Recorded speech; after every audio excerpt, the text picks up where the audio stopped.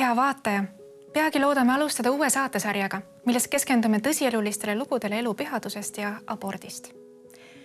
teadagi on tegemist väga tundliku teemaga, sest Eesti ühiskonnas on paljudel inimestel isiklikud ja valusad kokkupuuted abordiga ning seetõttu on mõistetav, et sellest ei taheta rääkida.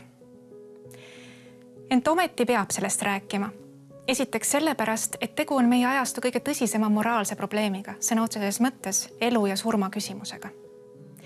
Ja teiseks sellepärast, et vaikuse müür, mis aborditeemat ümbritseb, jätab üksi need tuhanded emad, kes praegu tuge vajavad, selleks, et raskused ületada ja oma lapse armastusega vastu võtta. ka täna hukkub Eestis tahtliku abordi teel iga viies laps enne oma sündi.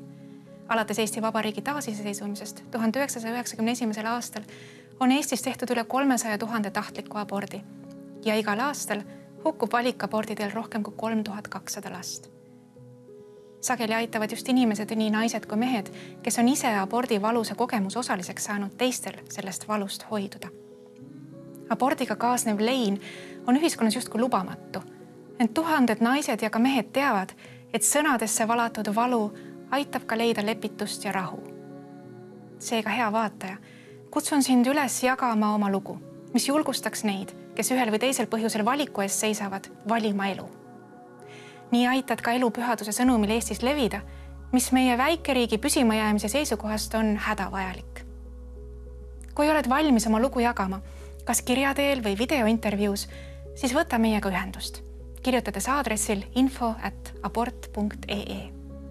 kogutud lugusid loodame jagada juba õige pea